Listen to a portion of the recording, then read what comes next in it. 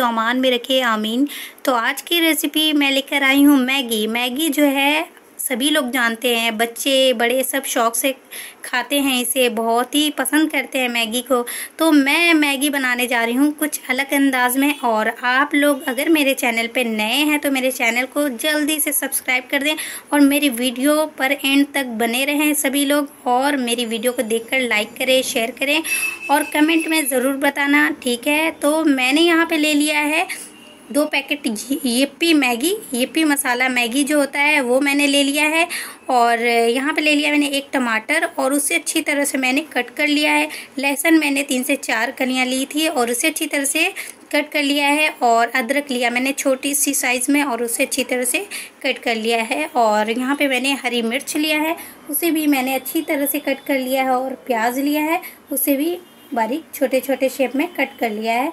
तो चलिए मैं अब वीडियो को स्टार्ट करती हूँ। तो पैन को मैंने चूल्हे पे रख लिया है और मैं इसमें अब एक गिलास पानी को शामिल कर रही हूँ और इसमें मैं मैगी डालकर उसे अच्छी तरह से उबाल लूँगी।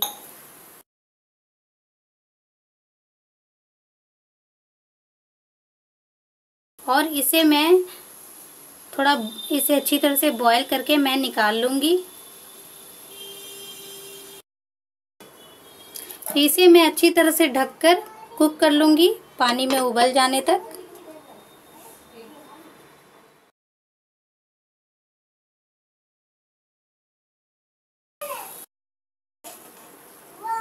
तो देखें, बहुत अच्छी तरह से ये पानी में अच्छी तरह से मैंने इसे मिक्स कर लिया और बहुत ही अच्छे से इसे उबाल लेना है।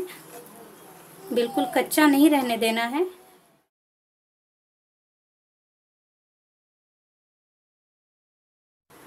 तो माशाल्लाह से मैगी जो है पानी में अच्छी तरह से उबल चुका। अब मैं इसे निकाल लूँगी, इसके अंदर के जो पानी है, थोड़ा बहुत, और मैगी से पानी निकल जाने के बाद मैं आप लोग को दिखाऊँगी। देखिए, मैंने मैगी के पानी को निकाल लिया है माशाल्लाह अच्छे से। तो अब मैंने पैन को वापस से चूल्हे पे रख लिया है, और अब मैं इसमें तेल को शामिल कर रही हूँ। तो मैंने तेल तो डाल लिया है, और अब मैं इसमें लहसुन अदरक शामिल कर रही हूँ। मैं इसमें हरी मिर्च शामिल कर रही हूँ।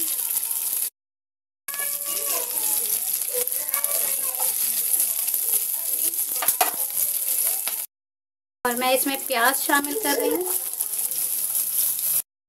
अब मैं इसे अच्छी तरह से मिक्स कर लूँगी। थोड़ा सा हल्का सा फ्राई करना है, ज़्यादा नहीं करना है। प्याज जो है हल्का सा फ्राई हो चुका है, लहसुन, अदरक, हरी मिर्च के साथ। इसमें टमाटर को शामिल कर रही हूँ।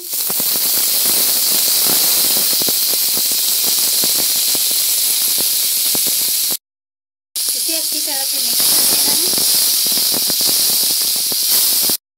अब मैं थोड़ा सा इसमें हल्दी को शामिल कर रही हूँ। थोड़ी सी धनिया पाउडर। थोड़ा सा मैं इसमें ज़ीरा पाउडर शामिल कर रही हूँ।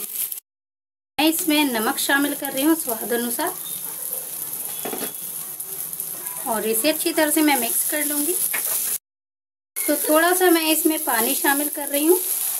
थोड़ा सा और इसे मैं थोड़ी देर ढककर टमाटर को अच्छी तरह से पका दूँगी।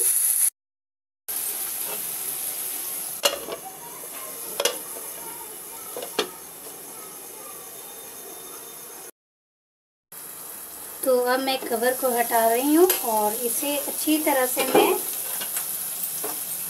चलाऊँगी। इसे इस तरह से चला लें, अच्छी तरह से टमाटर मैश हो जाना चाहिए।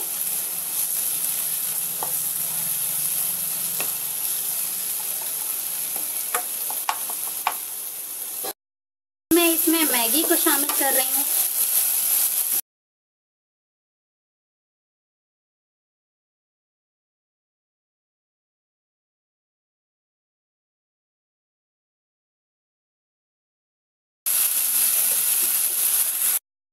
इसे अच्छी तरह से मिक्स कर लूँगी मसाले के साथ।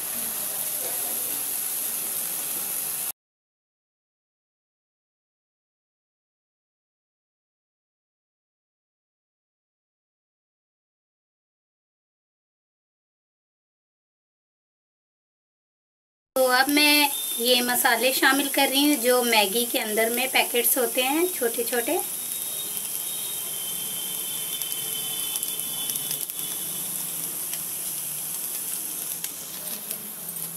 इसी तरह से मैं दो पैकेट इस्तेमाल की हूँ मैगी तो उसके अंदर की जो दो पैकेट मसाले हैं, उसे मैं शामिल कर रही हूँ। देखें, ये दूसरा पैकेट मैं इसमें शामिल कर रही हूँ। थोड़ा सा मैं इसमें पानी शामिल कर रही हूँ।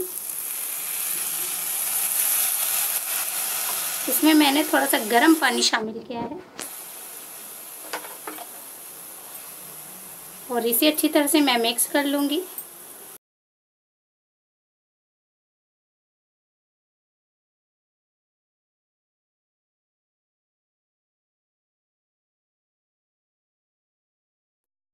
तो देखिए, मैंने बहुत अच्छी तरह से मिक्स कर लिया है और इसे थोड़ा सा अच्छे से मैंने फैला लिया है। और अब मैं इसमें अंडे को ऊपर से शामिल करूँगी।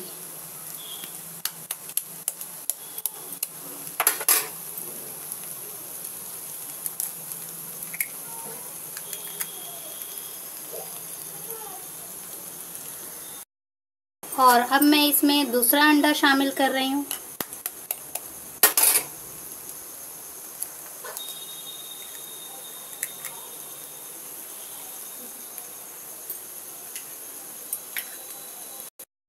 सा मैं इस पर गोलकी को छिड़क लूँगी अच्छी तरह से।